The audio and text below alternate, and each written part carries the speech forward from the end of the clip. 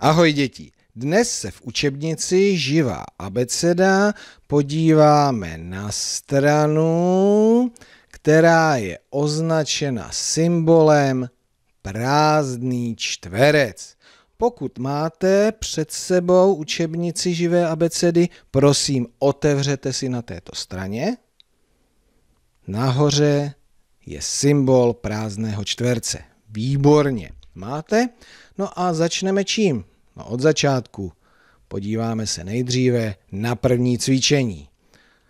Zvětšil jsem první cvičení a přečteme si zadání. Že nevíte, co to je? No zadání je tady ten lísteček, kde se dozvíme, co máme dělat. Máme zde obrázek, říkáme také piktogram, na kterém je pusinka. V předešlém videu jsme si vysvětlovali, co ta pusinka znamená.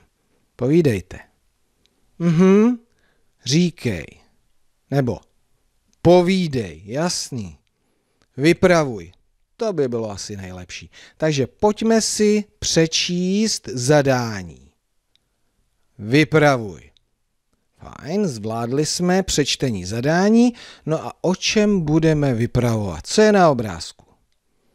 Ano, je zde školní třída, no a my můžeme vypravovat o tom, co v té třídě je, čím je vybavena, kdo v té třídě také je, no a co, te, co ty děti dělají.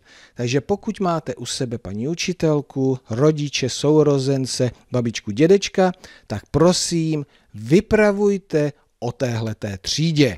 No a potom se můžete pustit do vypravování o své vlastní třídě.